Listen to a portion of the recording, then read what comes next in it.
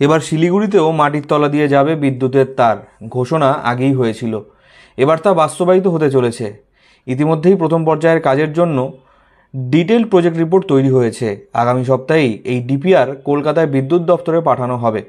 পুরো বিষয়টি নিয়ে বিদ্যুৎমন্ত্রী অরূপ বিশ্বাসের সঙ্গে বৈঠক হয়েছে মেয়র গৌতম দেবের।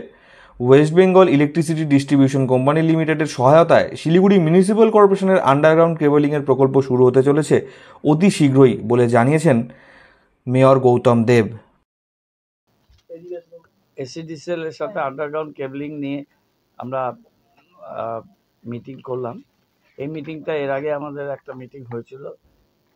এটা follow up meeting honourable power minister আজকে মডার্ন যুগে আলটিমেটলি আন্ডারগ্রাউন্ড কেবলিংয়ে আমাদের যেতে হবে। এই কাজটা আগে কেউ করেনি। এই গভর্নমেন্ট মমতা বন্দ্যোপাধ্যায় উনি চাচ্ছেন বিভিন্ন শহরে এই কাজটা হচ্ছে। আমরা শিলিগুড়িও এই কাজটা নিতে চাই। কতগুলো ইলেকট্রিক পোল আছে আমাদের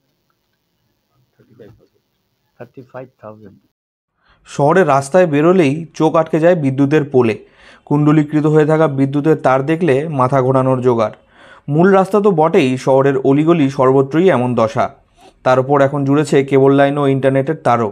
সব মিলিয়ে যেন জগা খিচুড়ি দশা। বাজারগুলির হাল তো আরও করুন ফলে প্রায়ই ঘটছে আগুন লাগার মতন ঘটনা।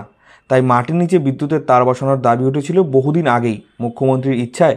সেই দাবি এবার পূরণ হতে চলেছে বলে জানালেন মেয়র।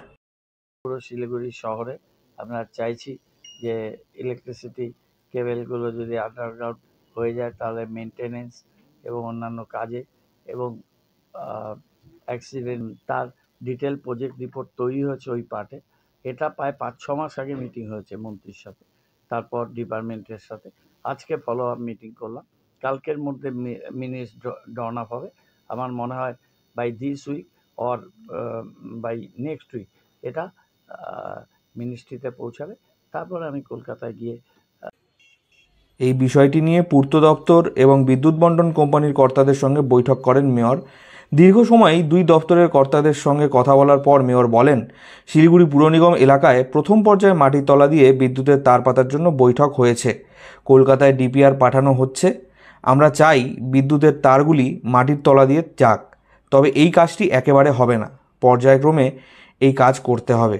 কাজ শেষ হলে শহরের চেহারাটাই বদলে যাবে, বলে দাবি গৌতম দেবের। কত খরচ হবে জিজ্ঞেস করা হলে তিনি বলেন যে চূড়ান্ত প্রতিবেদনের পরেই আমরা খরচ চূড়ান্ত করতে পারব। এতে সফল হলে একাধিক দুর্ঘটনা রোধ করা যাবে এবং শহরকে আরও পরিষ্কার দেখাবে বলে জানিয়েছেন মেয়র গৌতম দেব। শিলিগুড়ি থেকে Anirban Roy report, news eighteen local.